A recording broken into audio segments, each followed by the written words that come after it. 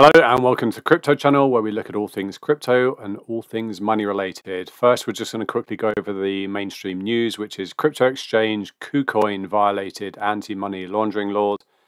Binance executive detained in Nigeria in crypto case escapes custody.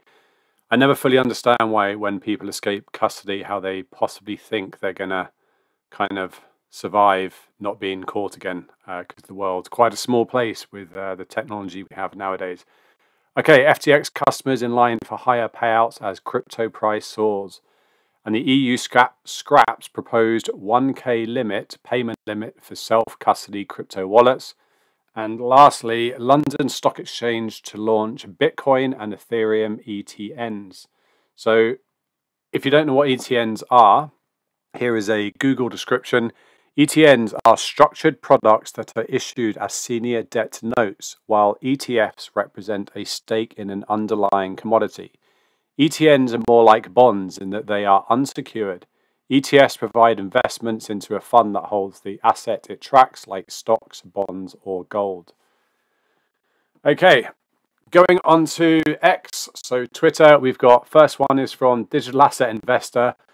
I'm going to word this in a way that's friendly for YouTube. Uh, he basically says, Are you not entirely happy with the state of politics at the moment? If you're not, then maybe think about going uh, and voting for John Deaton for his Senate position. Okay, this is from James Rule XRP.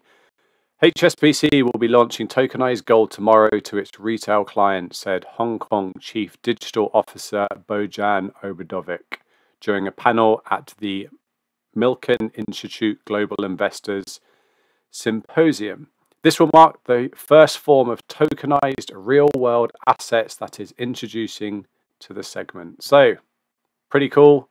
Tokenized gold, HSBC. Moving on.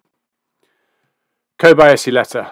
Okay, yeah, we're not going to go too much into this. So there was that certain president who's in a bit of trouble at the moment, um, and he has a stock which has gone up by a huge amount. So obviously, I'm talking about Trump. Uh, I don't really want to talk about too much about him, just because YouTube don't seem to like certain, uh, a lot of political things. They don't seem to like people to speak about. But obviously, he's got to come up with all the money from his lawsuit, and uh, his Trump media stock is basically skyrocketing. The stock is up over nearly hundred percent over the last five days, and it's put his uh, net worth up to about six and a half billion. Uh, I believe there is a more recent one that's even higher than six and a half billion. So yeah, he's certainly making good money at the moment. Ratha Kahneman. Ripple cited a few times in the new MasterCard report the future of remittances in Latin America, digitalization, multiple rails, and the strategic role of partnerships as an example of blockchain in remittances and CBDCs. XRP not directly mentioned. I was listening to something about Onafriq. I think it's called the payment solution that they have in Africa that's gonna it connects something like 500 million people. It's absolutely insane. But the point of me talking about this, and they are a partner of Ripple, they have partnered with Ripple, the company. Uh, but just when you listen to so much of the, so many of these wealth mentors, there's so much kind of growth potential uh, on the whole continent of Africa as well as other areas of the world, that it seems to be that the big money, the kind of the smart money are now going, well, okay, you look at the West, the West is so built up already that, you know, how much more kind of building can we do? Whereas you've got these areas that are just ripe for investment, for building, for economic development, etc. So I think more and more money is going to go that way. And it's interesting to see that uh, Ripple is partnered with so many countries, kind of in in many of these regions, as well as the much more modernized regions. Regions. Okay, this is from Nature is Amazing, completely unrelated to crypto, but it says pandas pandas usually give birth to twins. However, they would neglect one and keep the other one close. So what these caretakers are doing is that they give mummy panda an apple to eat and swap one baby with another. This way, both babies are fed properly. So it's kind of cool. It's basically this big panda with its baby in the cage, and the zookeeper comes along, gives it an apple, and takes one of the babies away. And then when they come back, they actually give it one of the other babies uh, so that it looks after them both. But I think this video was doing the rounds and people are going, oh, that's really unfair. Why are they taking one of the babies? Uh, but they are helping. And you know what? Pandas are worth an awful lot of money because they're an endangered species, but they're also very uh, important for culture of Japan, etc. I think it's Japan. Pretty sure it's Japan and not China. Don't quote me on that. Okay, Kobeissi letter. Always interesting to read. New home prices are from their highs in bear market territory and falling faster than rates seen in 2008, according to Reventure. New home prices peaked in late 2022 at 497,000 and have fallen to 401,000 as of the latest date. So that's quite a lot. So since 2022, you're down almost 100,000, almost a fifth. In the financial crisis, new home prices dropped by 23% from 2007 to 2010, according to Reventure. We are down roughly the same amount in just one and a half years, or half the amount of time. Still, new home prices are 20% above pre pandemic levels, and existing home supply is near record lows. Is the housing market beginning to crack? The reason why I included this is because in a dream world for my personal circumstances, being invested in crypto, I think it would be fantastic to hit the bull run, uh, get some good profits out of crypto, and then put them into real estate. And if it worked out, depending where you're looking at it from, if house prices came down and you actually saw a property crash, a really hard property crash as countries go into recession, but yet you've got all of this money from a crypto bull run, then there will be a lot of crypto people out there that will be buying up property. Okay, let's see what else we have. We've done that. This is a, another one from the Kobeissi letter. Issuances of US Treasuries are... Sorry, let me just get back to this. Twitter has this really annoying way of putting things in the way of other things. Okay, issuances of US Treasuries are now at pandemic levels. We saw nearly 7 trillion in gross issuances of US Treasuries in just 3 months during 2023. For the entire year of 2023, a whopping 23 trillion in US Treasuries were issued. US federal debt is rising by 1 trillion every 90 days right now. US government spending at a percentage of GDP is at World War II levels. So when you kind of listen to these financial experts going, oh, you know, we're getting inflation under control, everything's fine here, and we have a strong economy, you're like, okay, there's a lot of things that don't look particularly healthy. Codie Sanchez, the average person thinks having a job is safer than starting a company. They're wrong. Here's why. I included this because you've always got this kind of, I've always got this mental argument in my head of, working for someone else and being self-employed. I am self-employed and I have been self-employed for many years. I'm a personal trainer. I've got other projects on the go. But being self-employed is it wears you down. It's very tiring because you have to be the expert of everything. You have to do your marketing, you have to do your research, you have to do every single department that a company would normally have people doing those type of things. My wife is full-time employed by a company and she gets a steady income. Whereas when you're self-employed, you never know whether you're going to have a great year or whether you're going to have a really bad year. Okay, the bearable bull. The, the people that are complaining about the XR XRP price don't realize that they are the indicator. I really like that. It was a good, I think it's a clever comment. The people that are complaining about the XRP price don't realize that they are the indicator. So again, when you look at the sentiment of the crypto markets, what we're basically looking for at the moment is for euphoria. We want everyone to be in that extreme greed, euphoric. Yeah, money, money is everywhere. Bitcoin's hit all new all-time highs, and they're going to start throwing money into the meme coins, etc. That is when you need to be concerned. That is when you need to take profits. But when everyone's really down in the dumps, generally that is an indicator, the good indicator, when people are starting to sell out because they're fed up. That that's kind of when price action happens.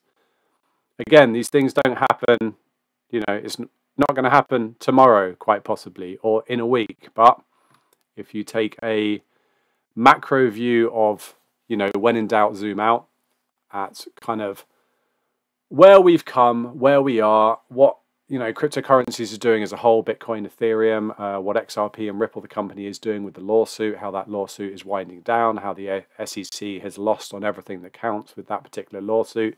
Going to enter a world where Ripple, the company, and XRP are one of the only ones with legal clarity around the world but also you've got huge institutions now looking at cryptocurrencies looking at bitcoin looking at ethereum. This space is there's just so much money that's going to be pouring into this space. It's insane. And when you look at things like hsbc uh, tokenized gold everything's going to be tokenized.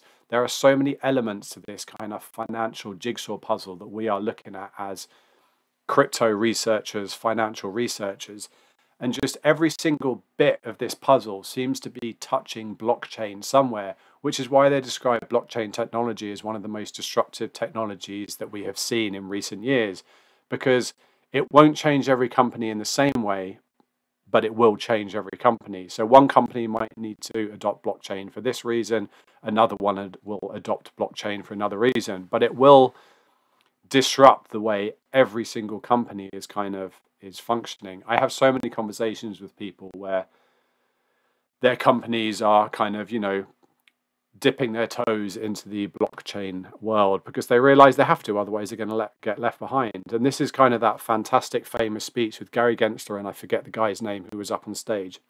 He basically said at first the banks will try and ignore cryptocurrencies and then they'll try and destroy cryptocurrencies. They'll get their friends and their buddies in power to get lawsuits, etc., against crypto. What have we seen? Exactly what he spoke about. And then he said these people will realize, or the big institutions, the legacy system will realize that crypto is just too big. It's not going to wait to go away. And so they're going to then, as the final piece of that jigsaw puzzle, to adopt the technology. And we, I think, really are at that time where just every single company is having to adopt cryptocurrency. I'm not specifically talking about XRP, I'm talking about cryptocurrency, blockchain technology as a whole. So I think this space is going to be just worth trillions and trillions and trillions of dollars going forward. And I think if you have strong enough hands, you know, you're going to do very well. Sell to get some profit out, but you know, each to their own. Uh, whatever you want to do, I think. But though I think those who hold a bag for the future which I will do for my children, I think, uh, you know, it's a fairly good academically sort of good solution, a good idea, rather. Okay, Jeremy Hogan. Let's wait until Ripple's brief. I think they have some strong arguments for pretty much zero. So Jeremy Hogan is just replying how the SEC is looking for, I think it's something like $2 billion from Ripple, the company. And, you know, the SEC is just losing and losing and losing. And Jeremy Hogan, good guy, he's got a, he is a lawyer, so he's a, a good person to listen to, is basically saying, let's wait until Ripple's brief. I think they, i.e., the SEC, have some uh, no, sorry, they, uh, Ripple, the company, have some strong arguments for pretty much paying zero money. And that really would be a big loss to the SEC. But again, it's a ridiculous situation because if the SEC loses, doesn't really matter. They're. They're playing with taxpayers' money. They're to them, it's kind of free money. Okay, Watcher Guru. Just in, U.S. government indicts crypto exchange KuCoin and two of its uh, founders on criminal charges, citing a multi-billion-dollar criminal conspiracy. Yeah, we looked at that one already. Okay, Alex Hormozi, known as the $100 million man. Whenever you think someone had it easy, it's usually a sign that you don't know them that well. I thought it was kind of a good comment because so many people you see people that are doing well, people that are doing financially well, and you just go, oh, they've got it so easy and oh, their life's absolutely wonderful. But yeah, chance, chances are when you get to know these people and work out how they got their money, if they made their money themselves, they probably had quite a tough journey to get there. Thought this was interesting. Chris Larsen is chipping in, and this is in regards to a Brad Garlinghouse comment. So Brad Garlinghouse basically said Gensler's SEC has repeatedly acted outside the law, not going unnoticed by judges, admonishing the agency for a gross abuse of the power entrusted to it by Congress. And Chris Larsen is basically saying Gensler's SEC has become unhinged. This will not and should not go unnoticed in an election year as the SEC single handedly thinks it's above the law, dragging the US further behind other G20 countries. Okay, David Joel Katz. He goes, I, I, I have a love and hate relationship for David Schwartz because I think he should just stick to crypto instead of kind of getting into politics, etc. But he says, he's talking about Elon Musk, self proclaimed defender of free speech, smacked down by court for trying to get the government to punish people for engaging in protected speech that he does not like. Nobody, nobody could have predicted this. And this is basically in regards to Elon Musk, who took, I forget what they're called now. Uh, let me see if I can quickly. Uh, uh, a case against the CCDH for basically trying to stop, trying to persuade advertisers not to advertise on the platform of X. I'm no lawyer, I don't fully understand, but yes, you have freedom of speech, but I don't know if there's laws where if you actively try and hurt a company, that there are laws that stop you from doing that. I don't know. I don't know enough about that stuff, but my point really is I kind of wish David Schwartz would just stick to the crypto, personally. And that is everything we have for you today. Uh, yes, that is all. So we try and keep this channel as unpolitical as possible because politics is boring and it's not a particularly nice place to spend too much time in. However, unfortunately, crypto is always related to politics because Politicians are the very people that are going to make up the rules of the road that we are all going to have to abide by. So